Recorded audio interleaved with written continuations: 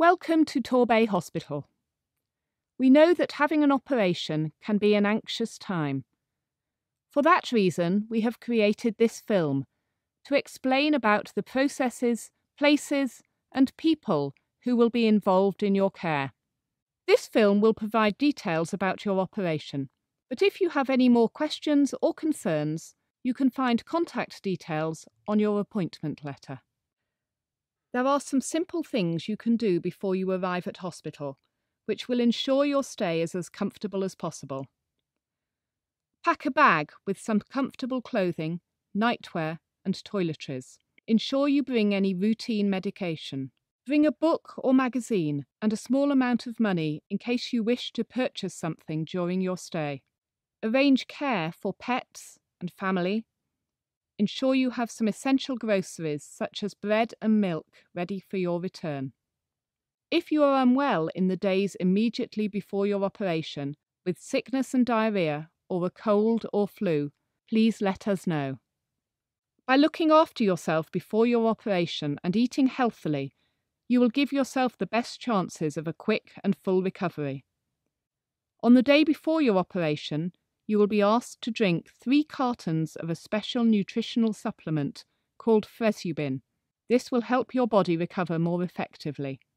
Smoking makes it harder for the body to heal and increases the chances of complications after surgery. Giving up smoking will help your recovery and your general health. Torbay is a no smoking site, which means that smoking is banned inside and outside all areas. On the day of surgery, follow the guidance found within your appointment letter, which contained some useful do's and don'ts. On arrival at the hospital, please come to the surgical admissions unit, which can be found in the Violet Wills ward on level 7. Signs will direct you to the area, or please ask a member of staff for help. Once you have been signed in, you will be asked to take a seat until a nurse comes to find you. The nurse will check your details and make sure you are ready for surgery.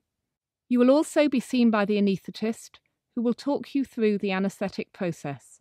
They will discuss the different types of anaesthetic which are used, depending on the type of surgery, the anaesthetist's assessment, and your own preference. Then you will be seen by your surgeon, who will discuss the details of the operation and answer any of your questions. Once you have spoken to your surgeon and anaesthetist, you may have some time to wait before your operation. You will be shown to the sitting room where there is a television. We advise you to bring a book or magazine to fill the time.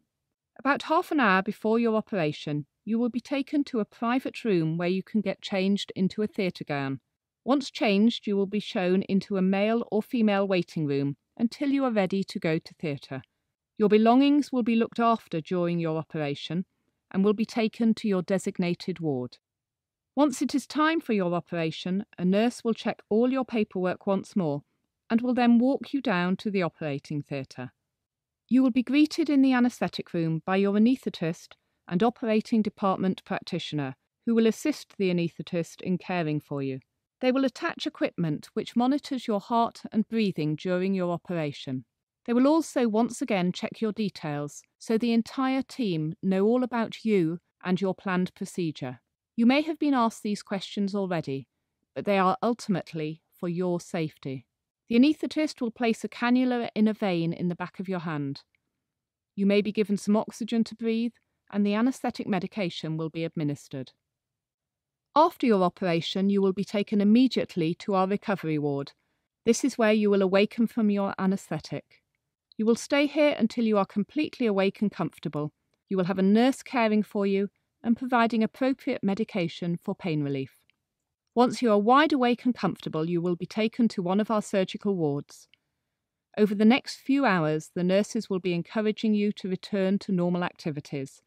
You will be encouraged to get out of bed for your meals and eventually to start walking around the ward. At Torbay Hospital, we believe in enabling patients to recover as quickly as possible. This means you will feel better sooner and be able to leave hospital earlier. 30% of a good recovery is down to a patient's positive approach. While you are in hospital, we would like you to play an active part in your own recovery. Hospital staff will work with you to help you set and reach your own goals and get back to your normal life as soon as possible. We hope you found this film useful and we wish you all the best for your operation and a speedy recovery.